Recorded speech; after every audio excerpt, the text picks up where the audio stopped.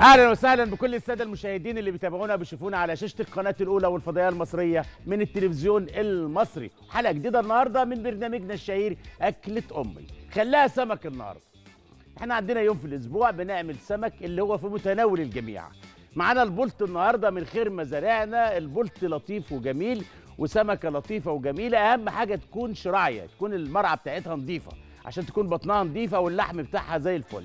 أنا هعمله النهارده سمك مقلي بالدمعه صينيه يعني.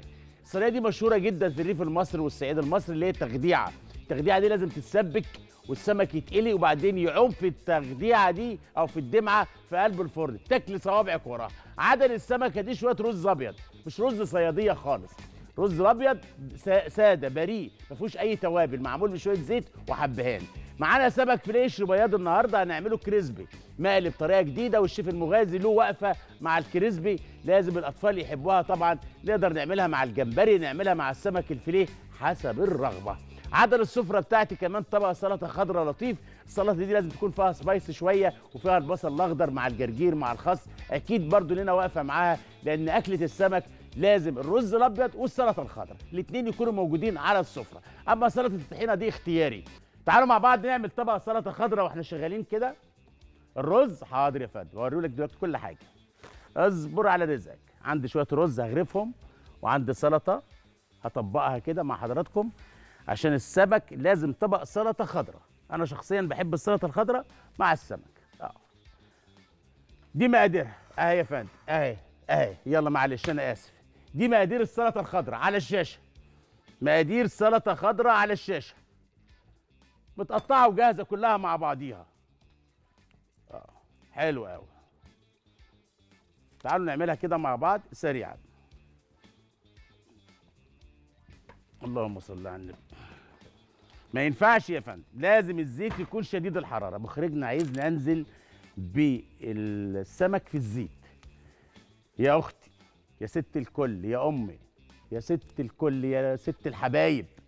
لو نزلت بالسمك في زيت بارد السمك هيتهري منك وال topping والخلطة دي هتنزل في قلب الزيت والأسئلة اللي بتسألوها على ال social media هي الإجابة عملي. آه لازم الزيت يكون غزير ويقعد في التتبيلة كده. هناخد البصل الأخضر ده كده بنحطه هنا كده ونجيب السلطة بتاعتنا دي كده بالخس الجميل الحلو ده كده. آه ببدع في طبق سلطة خضراء. أجيب الطماطم أحطها هنا كده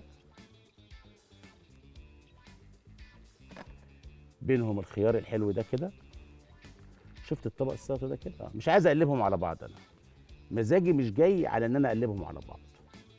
خلي كل حاجة لوحديها كده.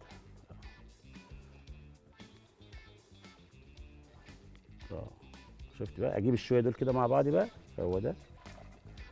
وأحط السلطة دي كده. شفت السلطة؟ ألوانها كده متفرقة. اللون البرتقاني غالب هنا. ليه؟ علشان يفتح الشهيه يعني يا مغاز عايز تقول لي عندنا سمك بولتي بالطريقة اللي أنت عاملها دي وتقول لي فواتح شهيه دي مش محتاجه دي السلطة الخضراء بتاعتي زي الفل. تتبيلتها شوية زيت زيتون وعصرة ليمون على الوش. مش محتاجة حاجات كتيرة. ملح قليل. آه. تدي اللمعة دي. الله بس خلاص. شفت السلطة؟ حكاية. زيت زيتون ده مع الخضرة يساعد على الهضم ينشط الجهاز الهضمي مفيد جدا.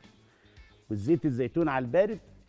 السفرة بتاعتي فيها تفاصيل كتيرة فيها خبرة طهوية حضراتكم اللي بتحكم. عملنا السمك البلطي النهارده بالدمعة.